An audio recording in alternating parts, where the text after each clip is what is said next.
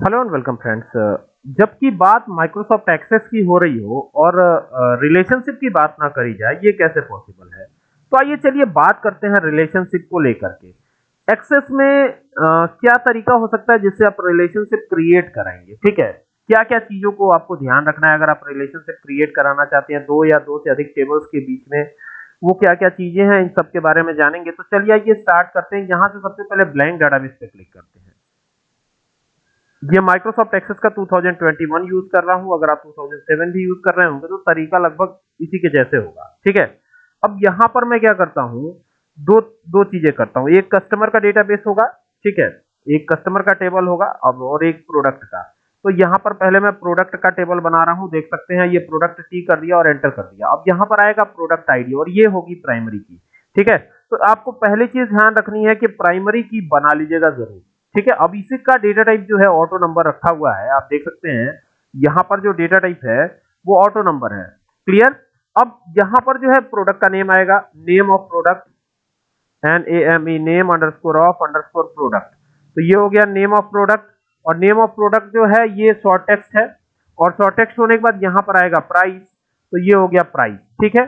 और प्राइस का जो डेटा टाइप है, वो हम रख देते हैं करेंसी तो ये हो गया करेंसी और करेंसी रख करके यहाँ पर क्वांटिटी कर देंगे क्वांटिटी और क्वांटिटी में क्या करेंगे? यहाँ पर नंबर रख करके इसे डबल बना देंगे double D O U B L E तो ये हो गया डबल और यहाँ पे कर देंगे टोटल तो यहाँ पे टोटल प्राइस आ जाएगा. तो ये टोटल प्राइस यहाँ पे कैलकुलेट कर लेते हैं हम. तो यहाँ पे देख सकते हैं ये टोटल प्राइस तो इसको कैलकुलेट करने के लिए यहाँ पर चूँकि 2021 है तो यहाँ पर कैलकुलेटेड डेटा टाइप मिल जाता है हमें. और अगर आप टू थाउज़ेंड सेवन या उससे जो टेन है, इस तरह के वर्जन को इस्तेमाल करेंगे या थर्टीन इस्तेमाल करते होंगे तो उसमें ये कैलकुलेटेड नहीं मिलेगा। ये कैलकुलेटेड मिलेगा मिनिमम आपको 2016 इस्तेमाल करना है, उसमें ये मिल सकता है, ठीक है? अब क्या करना है, हमें प्राइस को क्वांटिटी से मल्टीप्लाई करना है तो प्राइस स्क्वायर ब्रैकेट में लिख करके, जिस तरीके से मैंने लिखा है मल्टीप्लाई का साइन लगाइएगा, और क्वांटिटी से इसे मल्टीप्लाई कर दीजिए, जिस तरीके से लिखा गया, बिल्कुल वैसे ही मल्टीप्लाई कर देंगे। तो ये हमारा टोटल भी होता हुआ नज़र आएगा। तो यहाँ पर अब हम आ चुके हैं, देख सकते हैं, और ये प्रोडक्ट आईडी तो खुद से आएगा।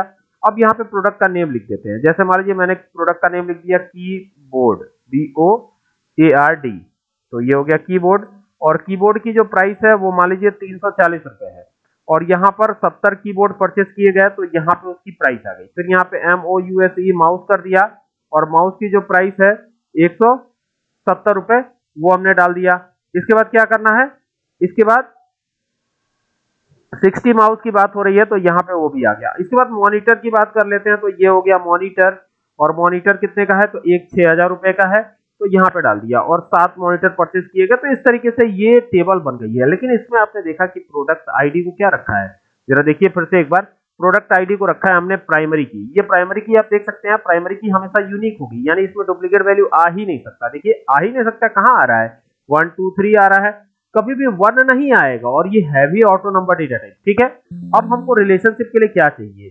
रिलेशनशिप के लिए दूसरा टेबल चाहिए। कम से कम दो टेबल्स तो चाहिए होंगे ना रिलेशनशिप के लिए। तो यहाँ पे टेबल पे क्लिक करके, फिर यहाँ क्वेरी डिज़ाइन पे ये जो व्यू है उस पर क्लिक करेंगे। और ये जो टेबल है वो कस्टमर की टेबल होगी। अब कस्टमर की टेबल में क्या करेंगे? कैसे रिलेशनशिप क्रिएट होगा?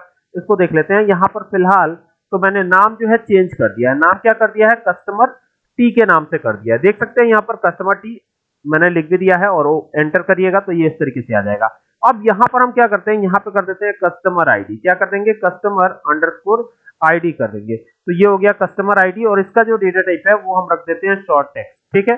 और यहाँ पे नेम ऑफ़ कस्टमर कर देते हैं। Name underscore of underscore customer C U S T O M E R customer कर दिया। और यहाँ पर भी शॉर्ट टेक्स्ट रख लेंगे।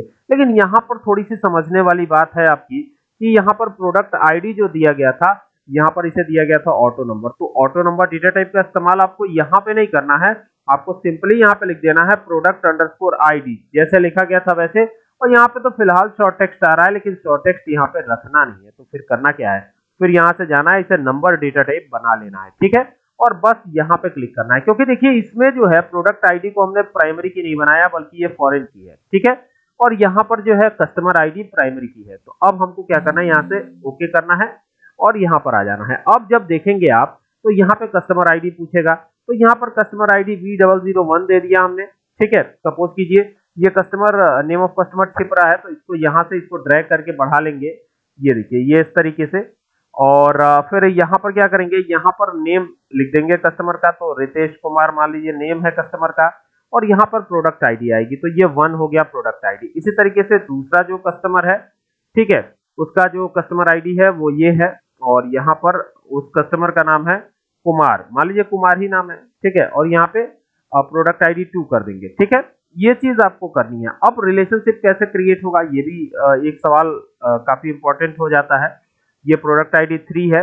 अब ऐसा हो सकता है कि प्रोडक्ट आईडी थ्री को प्रोडक्ट आईडी वन वाला सॉरी कस्टमर आईडी जो है, यहाँ पे थ्री को प्रोडक्ट आईडी जो है, यहाँ पे देखिए ये इस तरीके से आ रहा है।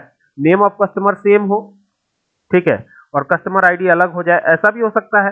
तो ऐसा करने के लिए यहाँ पे रितेश कुमार कर देते हैं। देखिए नेम ऑफ़ कस्टमर तो सेम हो गया यहाँ पर।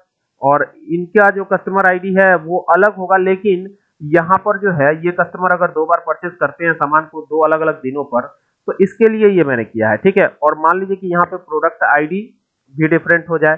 तो यहाँ पे थ्री कर दिया हमने। और अब क्या करेंगे? अब इसको हम क्लोज करते हैं। तो ये प्रोडक्ट वाला टेबल क्लोज कस्टमर वाला टेबल भी सेव करके क्लोज कर दीजिए। अब इसमें रिलेशनशिप क्रिएट कराना कितना आसान है, आपको दिखाता हूँ। डेटाबेस टूल्स पे जाना है और रिलेशनशिप पे जाना है। अब दो टेबल्स तो कम से कम होनी ही चाहिए रिलेशनशिप के लिए। तो यहाँ पर ये पहला टेबल और ये हो जाएगा दूसरा टेबल तो देखिए, दोनों टेबल्स आ चुके हैं। अब पहला टेबल है हमारा कस्टमर सॉरी प्रोडक्ट का। ये देख लीजिए, यही हमारा पहला टेबल है, ठीक है? अब पहले टेबल में और दूसरे टेबल में रिलेशनशिप कैसे क्रिएट होगा? ये जो है ना प्राइमरी की वाला फ़ील्ड इसको उठाइए और प्रोडक्ट आईडी के सामने ला करके रख दीजिए और इन तीनों पर आपको टिक करना है। पहला क्या है? इनफोर्स रेफरेंशियल इंटीग्रिटी दूसरा है कास्केड अपडेट रिलेटेड फ़ील्ड और तीसरा है कास्केड डिलीट रिलेटेड रिकॉर्ड तो तीनों पर टिक करके और यहाँ से क्रिएट पे क्लिक कर दीजिए। तो ये बन गया आपका वन टू मेनी रिलेशनशिप ठीक है? इस तरीके से आपको रिलेशनशिप बनाना है। ठीक है? माइक्रोसॉफ्ट एक्सेस भी एक रिलेशनल डेटाबेस मैनेजमेंट सिस्टम है, यानी रिलेशनल डेटाबेस सॉफ्टवेयर है, न कि केवल डेटाबेस है। तो यहाँ पे ये बन गया। अब इसका फ़ायदा क्या हुआ? इसका बेनिफिट तो तब पता चलेगा जब आप प्रोडक्ट आईडी वाले टेबल को ओपन करेंगे। अब अब देखिए प्रोडक्ट आईडी वन जो कि कीबोर्ड है, जिसका टोटल इतना है, इसको किसने परचेस किया? कौन से कस्टमर ने? तो इस प्लस के निशान पे क्लिक करेंगे तो उसकी कस्टमर आईडी और कस्टमर नेम दोनों दिख जाएगा। देख सकते हैं ना?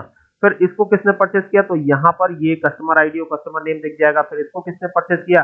तो ये सारी चीज़ें दिखती चली जाएँगी। अगर एक से ज़्यादा भी टेबल होती है सपोज़ कीजिए टेबल एक से ज़्यादा है तो भी आप रिलेशनशिप क्रिएट करा सकते हैं। बस ये ध्यान रखना है कि जो फ़ील्ड पहले वाले टेबल में प्राइमरी की होगा, वो दूसरे वाले टेबल में प्राइमरी की नहीं होगा। उसे आपको फॉरेन की बनाना है, तभी आप जो है रिलेशनशिप क्रिएट करा पाएँगे। और यही बातें आपको ध्यान में रखनी है ड्यूरिंग क्रिएटिंग रिलेशनशिप ठीक है? तो उम्मीद करता हूँ कि इससे आपको कंफ्यूजन दूर हो गया होगा और अगर आपको ये वीडियो पसंद आए तो इसे शेयर ज़रूर कीजिएगा। और साथ ही साथ इसी तरह की माइक्रोसॉफ्ट एक्सेस की वीडियोस देखने के लिए हमारे चैनल को ज़रूर सब्सक्राइब कीजिएगा। Thank you for watching this video